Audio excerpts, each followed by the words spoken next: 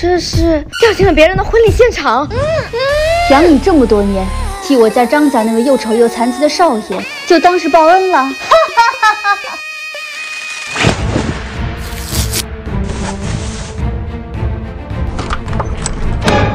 你在干嘛？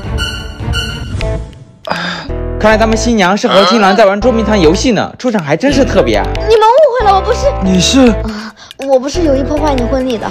佳丽，你竟然敢逃婚，快跟我回去！他是来逼我嫁给张家的，我不要回去，拜托你帮帮我。潘妮可以，作为交换条件，你要帮我完成这场婚礼。我答应你。现在她已经是我的新娘了。这么快就想起来了？妹妹，不要怪姐姐，这一切都是为了你好。佳丽出车祸，至今仍在失忆。两年前你设计陷害佳丽，掉进我婚礼现场的事，麻烦帮我重演一下。不行，虽然是为了妹妹好，但我发过誓，不会再有这种事情。她需要点刺激，事后我会给你一百万当报酬。钱就不用了，为了妹妹的幸福，我可以再试一次。佳丽，欣欣，你终于想起我了。佳丽，你愿意？再嫁给我一次吗？嗯。凭什么他能得到幸福？下次你们就没这么好运了。哎哎！啊！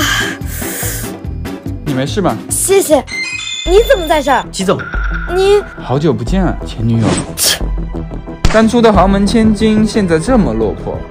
是不是后悔离开我了？没什么事，我就先走。齐总，这是家里的资料。除了日常工作，他还兼职送外卖。这么缺钱的吗？是的，我还缺个秘书。哦，明白，立马安排。从今天起，你就是总裁秘书了，去报道吧。这么迫切把我调到身边，无非就是想要报仇。那我就给你这个机会。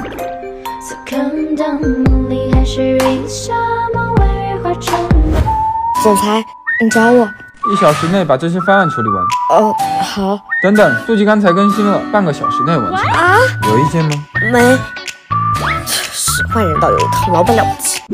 总裁，你要的文件，没什么事，我就先走了。等等，去给我买杯红茶玛奇朵，去冰五分糖。他不是不喜欢喝奶茶？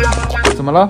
啊，没事，我这就去。红茶玛奇朵，去冰五分糖。等等，那不是我喜欢的口味吗？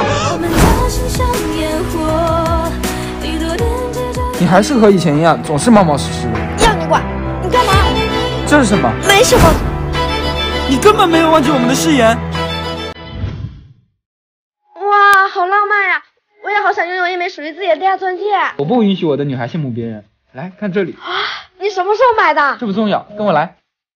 佳丽，这枚第二钻戒绑定了我的身份证，一生只能定制一枚。虽然我现在没钱，但我会一直对你好的，成为我唯一的例外和偏爱。只做我一个人的齐太太好吗？嗯，我们的身份无关金钱和地位，只在于彼此相爱。我只做你一人的齐太太。那又怎样？我又……你难道看不出来我每天欺负你就是为了把你留在身边吗？我们不可能。你要躲到什么时候？我说了我的第二就别想再逃出我的手掌心。